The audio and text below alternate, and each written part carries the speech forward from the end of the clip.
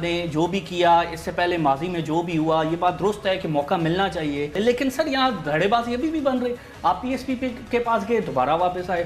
مشرف صاحب ملک سے واپس چلے گئے۔ اس کے بعد دوبارہ آنے کی بات کر رہے ہیں۔ یس، انہیں آنا چاہیے، انہیں موقع ملنا چاہیے۔ لیکن یہاں پر جتنی سیاسی جماعتیں ہیں، بشمول آپ کے سر، انہوں نے کراچی کو کیا دیا ہے؟ اردو بولنے والے کو کیا دیا ہے؟ اچھا ایاز لطیف علی کو شکریہ ادا کروں گا کہ انہوں نے کہا کہ ایم کیوم کو ایک موقع ملنا چاہیے۔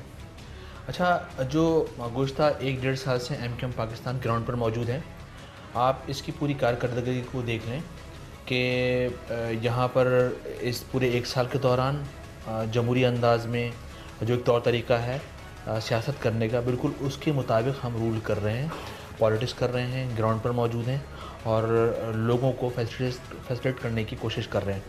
اچھا دوسرا، اب کراچی میں آپریشن بھی تین تین مرتبہ ہو چکے ہیں۔ محترمہ کے دور میں ایک دفعہ ہوا، اس سے پہلے ایک مرتبہ ہوا، پھر اب یہ دو ہزار تیرہ کے بعد سے آپریشن جاری ہے۔ ہوا یہ کہ بار بار بڑے بڑے الزامات تو لگے ایم کیو ایم کے اوپر لسانیت لسانیت کے الزامات لگے۔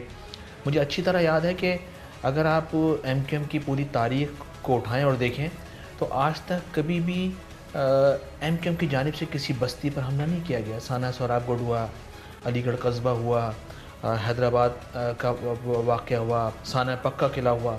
یہاں پورے پورے موب نے آبادیوں پر حملہ کیا اور ان موب سے آبادیوں پر حملہ کروایا گیا ہے۔ کس نے کروایا؟ یقیناً جو بھی ان کے پیچھے طاقتیں ہوں گی مثال کے طور پر جو سانہ حیدرآباد ہوا تھا اور اس کے اندر جو نامزد ملزم تھے سب بری ہو گئے تو ہمیں عدالتوں سے پوچھنا چاہیے نا کہ آپ نے خود بری کیا ہے کہیں سے آپ کا فون آ گیا ہے کہ ان کو بری کر